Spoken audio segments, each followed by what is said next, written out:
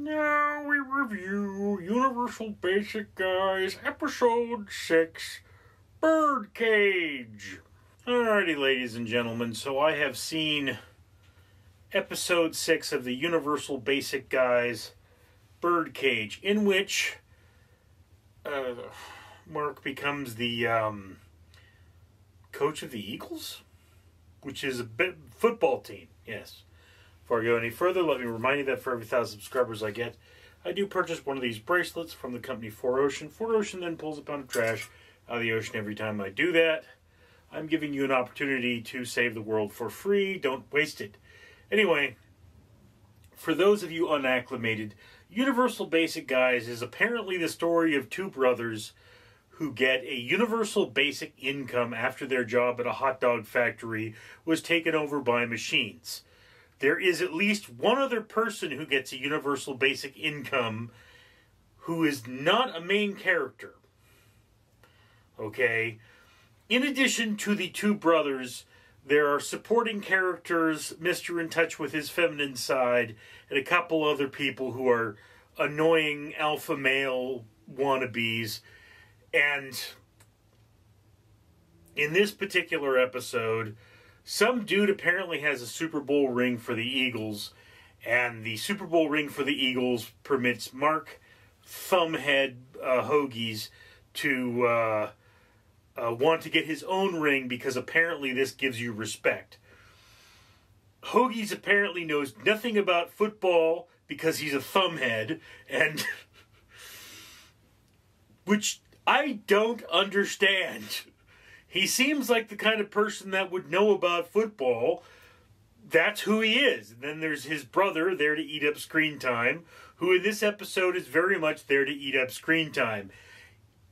It's weird. And there is essentially three plots going on. There is Thumbhead as the coach, there to eat up screen time as a mascot, and then the wife and in touch with his feminine side watching the game.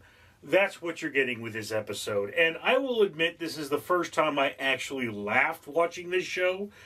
So this episode is probably better than average. I did find it absolutely cringeworthy. And it's like, you know, how is it Mark is not getting the heck kicked out of him? Because Thumbhead is a very annoying person. But it's just one of those things that his ineptitude at football rather annoys me. And a reoccurring theme with this uh, television show appears to be that rich people are incredibly stupid. Just painfully stupid. And I recall the fact that the idea for this show comes from a Whoopi Goldberg movie, which I actually thought was a really good movie.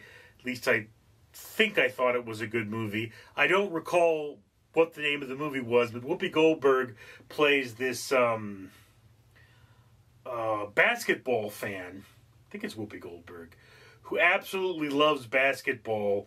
And, you know, she winds up like she's a taxi driver who drives um, drives the coach or the owner of the team to a game or something, winds up becoming a coach because cheap.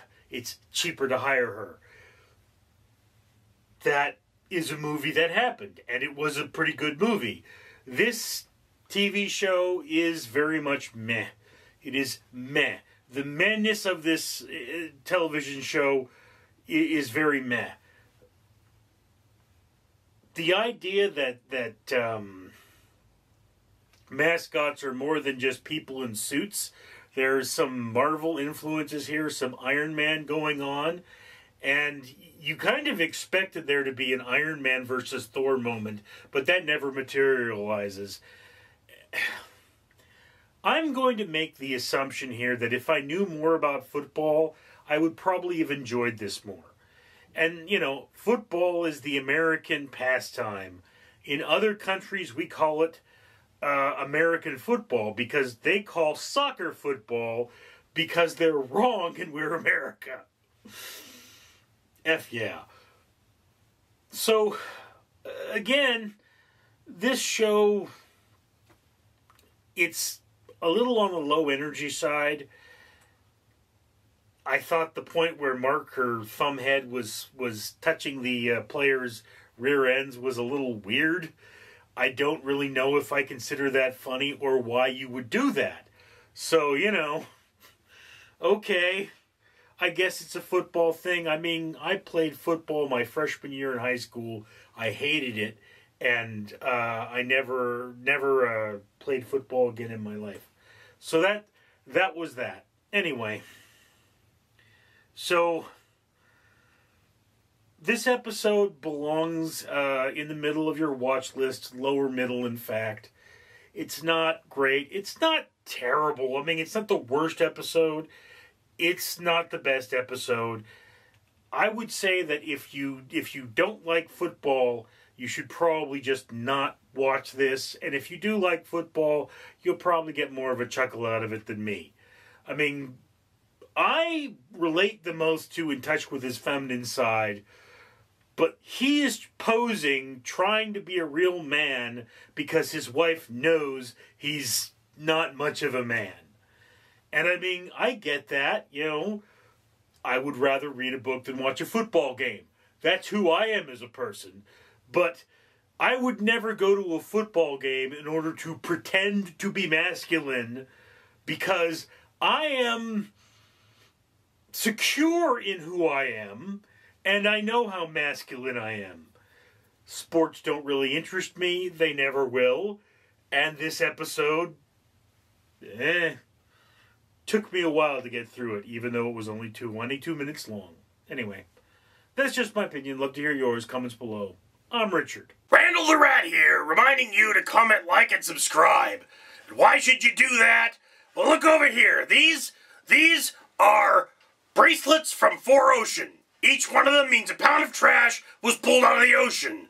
And this channel buys one for every thousand subscribers it gets. And this around my neck? Well, this is a medal from the Conqueror.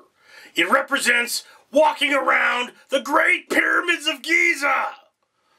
You can get one for yourself by going to the Conqueror challenges.com and saying, hey, I, I want to pretend I walked around the pyramids of Giza without dealing with all the sweat and flies and, and delicious scarab beetles. Or, or, you could support this channel so they can buy more of these, which means that they will plant trees. Because each one of these represents five trees that got planted. Yeah, that's right, five trees, helping your environment. Global warming sucks. Be a good person, comment, like, and subscribe. Give us more money so that we can plant trees by buying medals from the Conqueror. Randall out.